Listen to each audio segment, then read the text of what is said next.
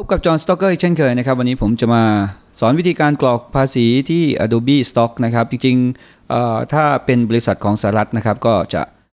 เป็นฟอร์มคล้ายๆกันนะครับ W-8BEN นะครับอ่าโอเคนะครับ ไม่พูดพร่ำทำเพลงอ่าใครที่ยังไม่ได้กรอกนะครับ ก็มีทั้งแบบภาพ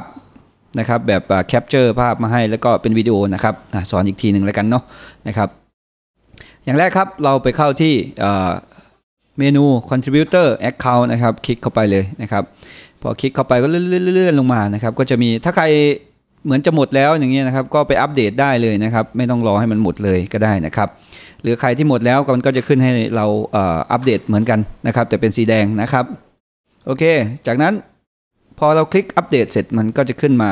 ตรงนี้นะครับ อ่านดูก็ได้นะครับ ใครมีเวลาอ่านก็อ่าน ถ้าไม่อ่านก็คลิก continue ไปเลยนะครับ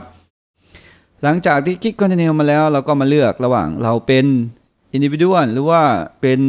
corporate นะครับแค่เป็น company นะครับ ก็เราเป็นบุคคลธรรมดาก็ใช้ตัวนี้นะครับ แล้วกด continue ไป ไปสู่เมนูที่ 2 คือให้เลือกนะครับ ก็จะมีอยู่ 3 ช่องนะครับอ่าช่องแรกช่อง 2 ช่อง 3 ช่องแรกไม่ใช่ละ ช่อง 2 ก็คือ คุณมีที่พักอาศัยนะครับมีแบบอะไรส่วนที่สัญญาภาษีเกี่ยวกับสหรัฐโอเค ของเราตรงนี้ตรงกลางนะครับ ตัวท้ายก็ไม่มีนะครับก็จะเป็นพวกประเทศอื่นนะครับ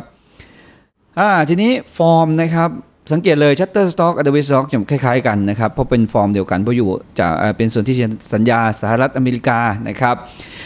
ช่องหนึ่งก็กรอกชื่อนามสกุลนะครับ ช่อง 2 ก็เลือกประเทศไต้แลนด์นะครับช่องที่ 3 ก็เลือกอที่อยู่นะครับ เขียนเป็นภาษาอังกฤษนะครับช่อง 4 เป็น ก็ที่อยู่แถว2นะครับเป็นรหัสไปรษณีย์นะครับแล้วก็ country ก็ Thailand นะครับทีนี้ช่องอื่นไม่มีเรามาดูที่ช่อง 6 6A 6A มันมี 6A 6A ก็เป็นรหัสบัตรประจำตัวประชาชนเรานะครับ เป็นการเรียกเสียภาษีของเราช่อง 7 ช่อง 8 ก็เป็นวันเดือนปีเกิดนะครับ เดือนก่อนวันที่แล้วก็ปีนะครับแล้วก็ part ที่ 2 นะครับนะตัวแรกก็เป็นไทยแลนด์นะครับข้อ 9 เป็นไทยแลนด์นะครับข้อ 10 เป็น 12วรรค2นะครับเดี๋ยวจะเดี๋ยวจะเดี๋ยวจะไปอธิบายให้ฟังว่า 12วรรค2คืออะไรนะครับก็rate 5%ถ้าใครไม่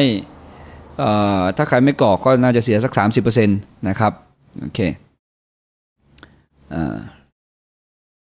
จากนั้นก็มาติ๊กตรงนี้นะครับแล้วก็แล้วคลิกทรายนะครับก็ signature นั่นแหละ เซ็นเข้าไปนะครับเซ็นเสร็จแล้วก็พิมพ์ชื่อตัวเองลงไปด้วยนะครับ แล้วก็